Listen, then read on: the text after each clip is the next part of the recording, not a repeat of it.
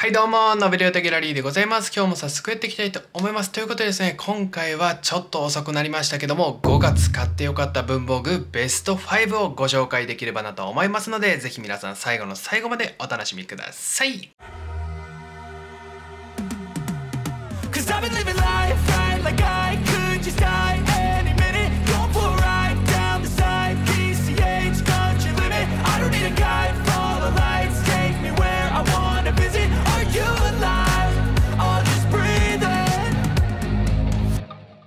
まあ、5月はですね僕ねあんまり文房具紹介してなかったかなっていうイメージがめちゃくちゃあったんだけども全部ですね数えてみたら皆さん何個あったと思います？実はですね16個もですね僕ね新しい文房具をご紹介させていただいておりました。まさかの1ヶ月のね半分近くですね、まあ、文房具をですね紹介してたということで僕はですねちょっとびっくりしましたけども今回もですねいつも通りですねベスト5をですねご紹介させていただきますのでぜひですね皆さんもね5月ね何があったかなってね想像しながらそしてですねあの文房具はランキングに入ってくるのかみたいなねそういう予想もしながらですねぜひ今回の動画最後まで見ていただけると嬉しいなと思います、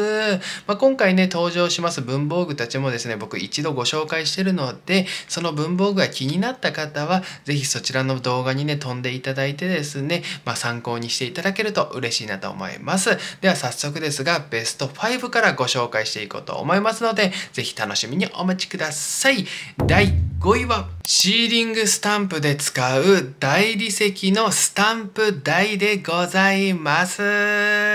これ文房具って思う方いると思うんですけども僕の中では今回ねまあこれ文房具かなと思いましてまあ台って言ってるからね、まあ、文房具も何々台みたいなね言葉あったりしますから、まあ、僕はですね文房具の認識でですねこちらランキングに入れさせていただきました。もうねあのこちらですねシーリングスタンプを知らない方はですねちょっとピンときてないかもしれないんですけども、まあ、シーリングスタンプ簡単に説明しますとですねまあローって言われるですねまあろうそくだね。ろうそくの火をですね灯してそしてですねワックスって言われるですねいわゆるねあのクレヨンもですね熱に弱くてですねあの熱いねドライヤーとかの風当てると溶けていくんですけどもそういう現象を使ってですね、まあ、いわゆるろうそくを溶かしてるイメージでちょっとですね何かしらのですね、まあ、レターセットの閉じるところですねそこに垂らすんですよ。で垂らしてそしてですねスタンプって言われるものがありますのでこれがですねめちゃくちゃいろんな種類ありますしそのワックスっていうのもめっちゃ種類があるのでマジでですね気になった方調べてほしいんですけどもでスタンプをして乾いたら取れるっていうねそしたらですねそのねレターセットが閉じられたようになるっていうねしかもめちゃめちゃおしゃれなスタンプになってっていう感じのやつが、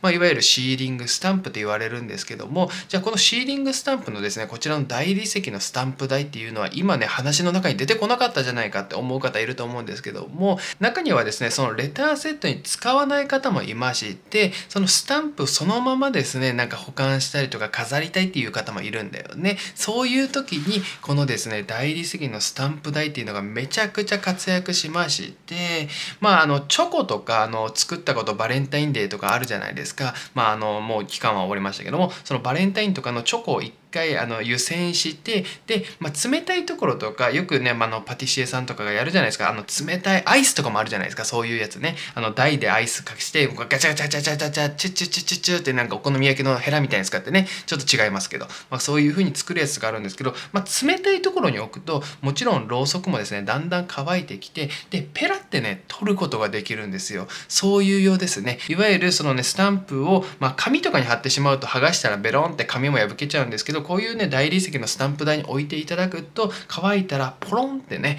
取れちゃうっていうですね。これがめちゃくちゃ楽しいんですよ、まあ、こちらねお値段はですねちょっとね高めなんですけど1100円っていうことでまああのシーリングスタンプ好きな方はですねもう持ってるアイテムって言っても過言ではないぐらいですねめちゃめちゃ面白いです。僕もね今回買わせていただきまして楽しませていただきそしてですねもうめっちゃですね、もうなんか新しい世界をたくさん見せてくれるですね、一つになりましたね。だから今回ですね、ベスト5のですね、第5位にさせていただいております。まあ、僕の中ではこちらですね、結構驚いたので、まあ、上位にランキングしていいかなと思ったんですけども、一応ね、僕の文房具のですね、そのベスト5って言われるものは、まあ、日常的にも使えるような、なんか皆さんにとってですね、あ、これいいねって思えるようなやつをね、できるだけランキングに入れたいなっていう気持ちもありますので、今回ね、第5位にさせていただいております。でね、ベスト5って言ってたんですけども、一応、あの、文房具って言われるのも、ちょっとね、第5位に準備しておりまして、これはですね、あの、今回のベスト5に入れなかったっていうか、まあ、一応ね、僕の中では同じぐらいのね、まあ、値段の差って言ったらめちゃめちゃあるんですけども、ちょっとご紹介させてください。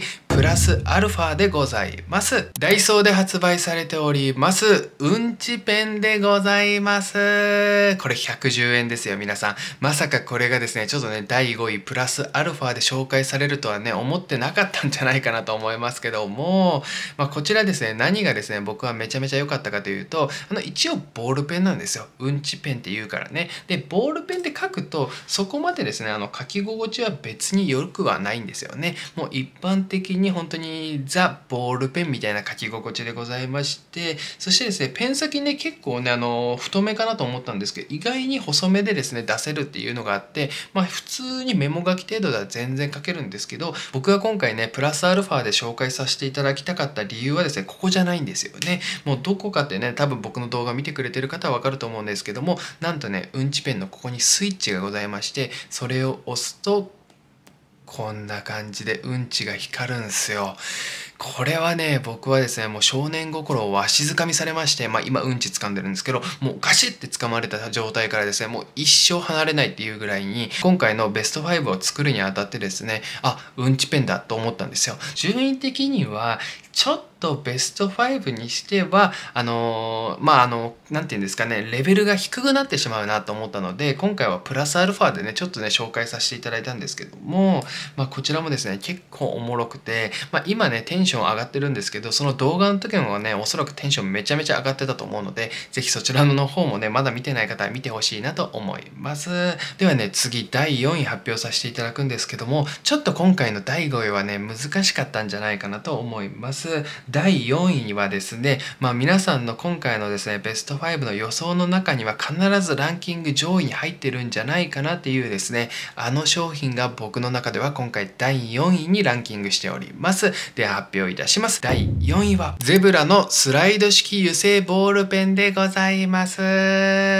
こちらがですねなんと僕の中では第5位に入れさせていただいております。ちょっと待ってくださいね。ボールペンのペン先が全然、あ、出てきた出てきた。こんな感じで出てくるやつなんですけども、これね、めちゃめちゃコンパクトでございまして、あ、こうだったわ。普通にこうやって回してたけど、スライドだから当たり前だけど、こうだったね。普通に忘れてましたね。まあ、これね、見た目がですね、僕、だいぶ好みでございまして、もう一目惚れで買わしていただきました。この子はですね、お値段は税込み330円ということで、この小ささで330円ってちょっと高くないとか思う方もいると思うんですけども、まあ、あの性能としてはですね普通にめちゃめちゃいいです。で見た目もねめっちゃかっこいいんですよ。もうこの見た目がですねもうかっこよければですね僕文房具ねもう楽しいんじゃないかなと思いますし毎日ねやっぱり自分が好きな文房具をですね近くに置きたくなるじゃないですか。だから今回ねこちらのゼブラはですねまあ今ね日常使いしてるかって言われたらしてないんですけども、まあ、だから第4位っていうのもあるんですが、まあ、別にねあの書き心地としては問題ないかなと思います。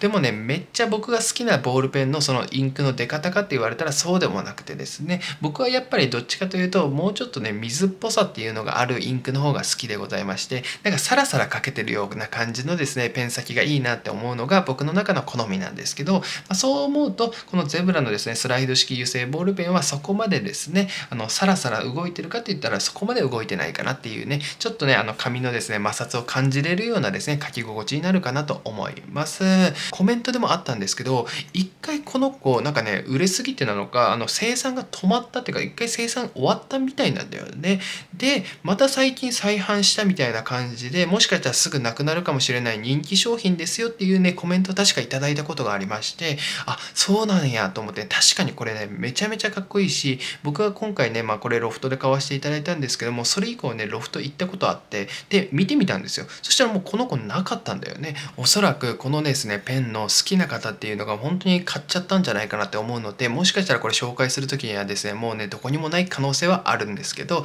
これ以外にもなんかね違う進化したですねボールペンとかもあったりしたので是非ですね調べてほしいなと思います。めちゃめちゃかっこいいです。普通にねコンパクトだしちゃんとクリップもですねめちゃめちゃ強度なので普通に紙留めてもですねなかなか落ちないと思います。これは一つねめっちゃいいと思うしまああの持ち運びしやすいかって言ったらですねめっちゃしやすいと思うんですよ。まあスーツとかのポケットに入れていただくだけでも結構かっこいいのでなんかできるサラリーマンみたいな感じのですねイメージ持たれれるんじゃないかなとかね、まあ、これだけで持ったねあのイメージが全然違うみたいになったらね申し訳ないんですけどもあのこれめっちゃいいです。普通にかっこいいなと思いました。ではね次ですねベスト3いくんですけども早くももう3位ね次発表させていただくんですが、まあ、3位はですねまああの全年齢楽しめるんじゃないかなと思いますし特にお子さんがいられる方とか、まあ、あの絵に興味ある方とか僕みたいに絵描くの好きですっていう方はですねめちゃめちゃ楽しめるアイテムだと思います。では発表させていただきます。第3位はフライングタイガーさんのオリジナルパズルでございます。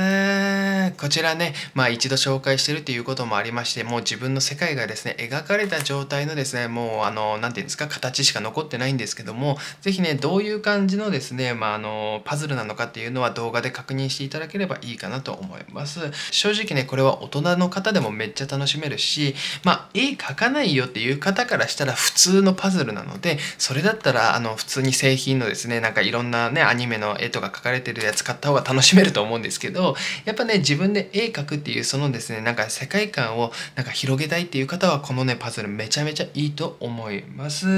まあねあのお値段はですねフライングタイガーさんってめちゃくちゃ安いので価格は165円税込みでございます。ました。なのでめっちゃ使いやすいと思うんだよね。だから小さいお子さんとか好きそうでしょ？だから自分でクレヨンとかでもいいですしなんか絵描いていただいてぐちゃぐちゃってしてそれを組み立てるってだけでもですねなんか一日ね一日それに使うとは思わないんですけどめっちゃ時間をですねそこに使って頭もねあの使うしだから全てに関してめちゃめちゃいいアイテムなんじゃないかなと思いますね。165円でね脳活性化するってなったらですねもう誰もが買うんじゃないかなと思いますけども、まあ、脳活性化するかどうかは全然ねあの実験はされてるかどうか知らないので僕はですね何とも言えないんですけどもあのめっちゃ楽しいです。普通に楽しそうでしょ？なんかまあねあのこういうコメントとかもあったりしてそのパズルってパズルね僕何回か動画上げててで最初の頃だったかな？なんかパズルは絵描けないと無理ですねとかなんか言うコメントとかもあったんだけども全然絵描けなくてもなんかね絵描くっていうくらいがうまい下手でね考えてしまうっていうのが僕はねあの結構僕この動画上げ始めてから思うことでございまして僕も正直自分がうまいと思ってですね絵描いてないんですよね。なんか絵描くことが好きっていうところから始まって今に至るのでだから好きっていうか興味持っていただいたらもうあの普通に買ってもいいんじゃないかなっていうね。その興味で進んでほしいんだと思いますね。で興味の先でうまい下手うわ自分はどういう絵を描こうかなっていうそういう調べるっていうのが大切で、まあ、誰もがねうまい下手っていう道は通りますし一生のなんか課題っていうか一生のテーマな気がしますのでそこを考えるっていうよりもやっぱり目の前の楽しさをですね僕はね手にしていただいてそしてさらに自分の絵の世界も広げていただけるとですねよりねこれからがね、まあ、最高の世界になっていくんじゃないかなと思っております。こちらがですね第3位でございました。めっちゃ普通に使いやすいと思いますね。僕確かこれねピグマのミリペンで書かせていただいたんですけども比較的に何のペンでも絵の具でもできそうな気はしておりまましたね。まああの少しね動画見返さないと何とも言えないんですけども是非ねよかったらですねこちらですね、まあ、フライングタイガー行った際はですね、まあ、あの見つけてみていただけると嬉しいなと思います。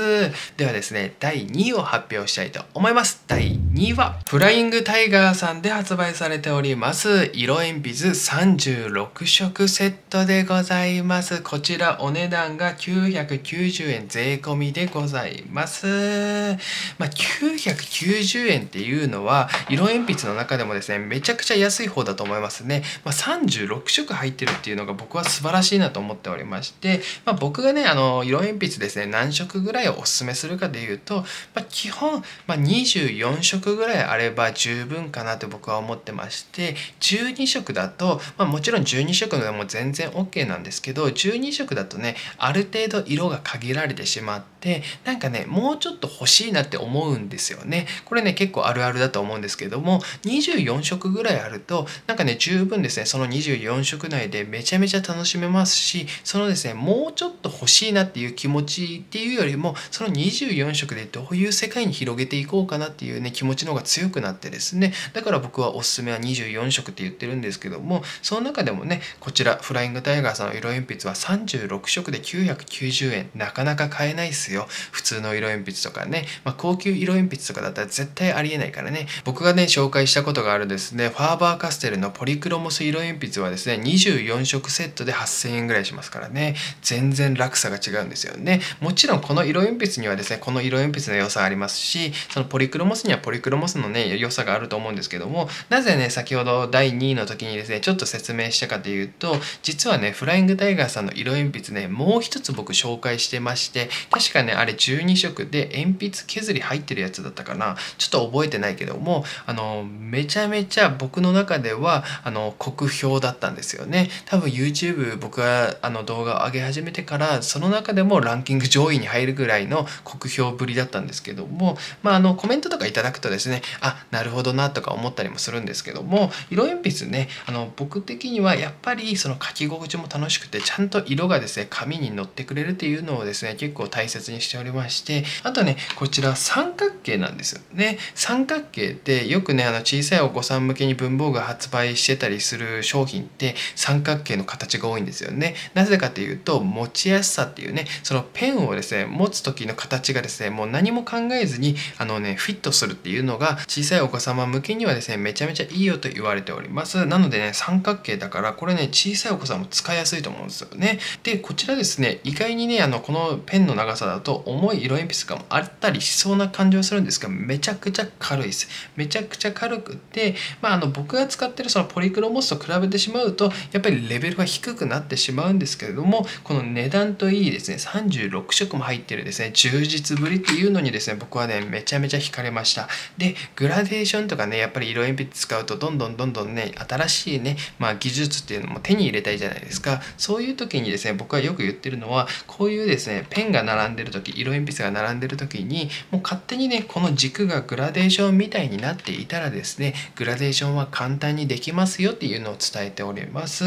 なのでこれ順番に塗っていただくだけでですねマジでグラデーション簡単になるのでしかも990円で36色セットの中にもうオレンジだけでこの3色あるっていうのがやばくないですか？でまあ4色目とかちょっと濃いオレンジとかもあるんだけどもなんかね似てるように感じるじゃないですか？色鉛筆の色がね。でもこの細かさをですねこの36色セットに込められてるっていうのが僕は素晴らしいなと思いますね。なおかつ白もちゃんと入ってるっていうのがこの36色セットだけで完結できちゃうよっていうのがしかも990円だよっていうねもう全てにおいてですねコスパ重視っていうかもうコスパ最高な商品なんじゃないかなと思います。まあここまで見るとですね皆さんのその予想っていうのは当たりましたかね。まあ実際僕自身も今回ねまあ一応うんちペン入れたらですねもうここの時点で5つね商品が並んでるんですけどもまあ第1位はですね僕はあのダントツだったかな。やっぱり僕としてもですねやっぱ日常使いできるボールペンとかその文房具って言われるものはまあ使ってる方がいいなと思ってて使えるものっていうんですかね。その日常的に使ってるものはやっぱ皆さんに紹介したいなっていう気持ちがすごくあってで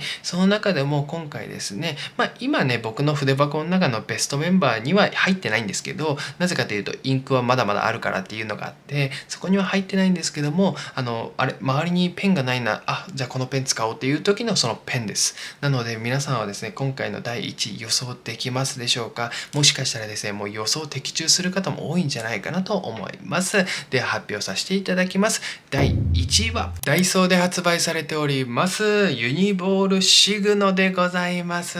このねボールペンマジで素晴らしいなと僕は思っております。まあ最後の最後にねめちゃめちゃ日常的にね使うボールペン来たなと思った方多いと思うんですけどもお待たせいたしました。こちらのですねユニボールシグノはマジで書きやすいんですよね。それこそそのうんちペンであったりゼブラのですねスライド式油性ボールペンとかと比べていただけると僕が言ってることってなんかわかるんじゃないかなと思います。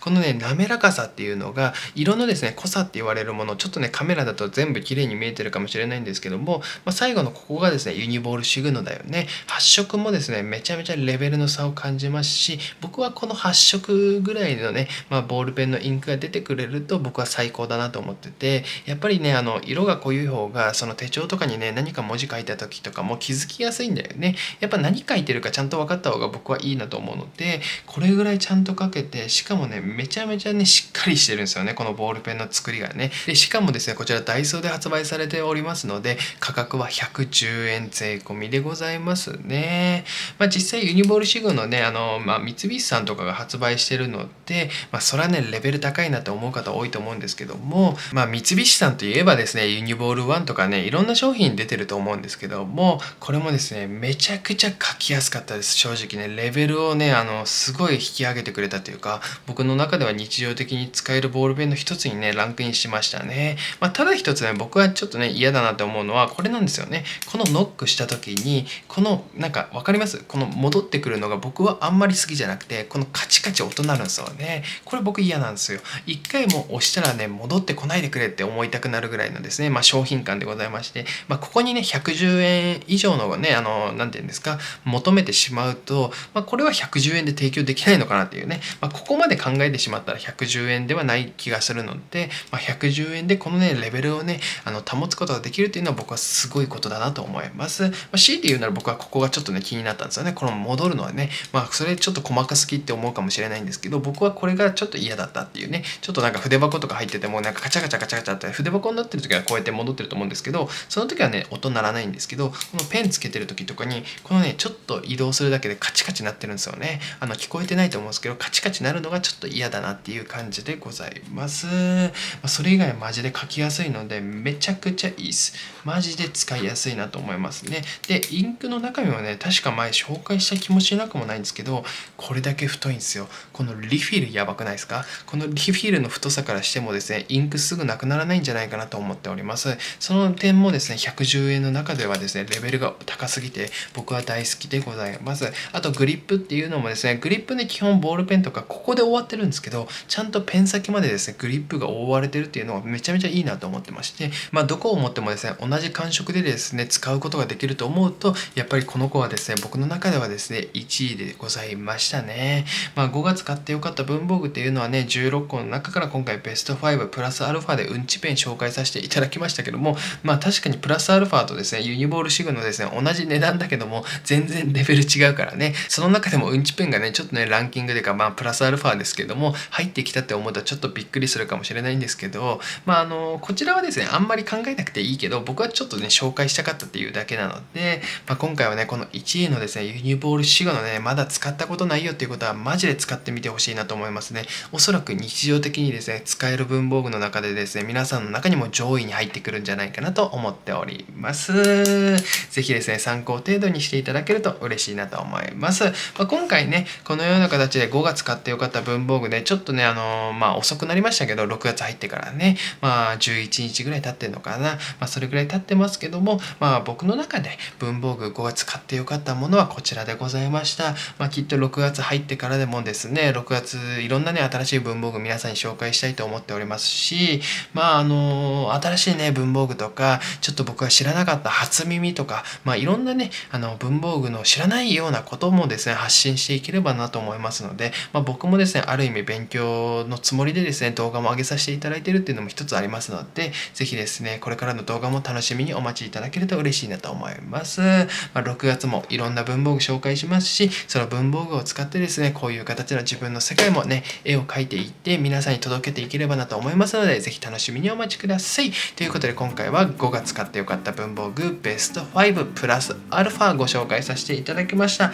皆さんの中で今回のベスト5はですね、まあ、予想的中できたのかどうなのかっていうのはコメントに書いていただけると嬉しいなと思っております。では皆さんまた明日以降の最高のアートの世界でお会いしたいと思います。明日はどんなアートになるのか僕にもわからない。そして皆さんにもわからないだから一緒に確かめていきましょう。ぜひぜひ6月買ってよかった文房具ベスト5も楽しみにお待ちください。今こうしたらベスト10みたいになりますけどもそれはねあの文房具たくさん紹介しましたらベスト10とかになるかもしれないんですけどもおそらくまあ6月もベスト5だと思います。ぜひ来月も来月というかもう6月か。まあ今月もですね楽しみしみにお待ちください。では皆さんまた明日お会いしましょう。バイバイ。ありがとうございました。Thank you です。ありがとう。皆さん。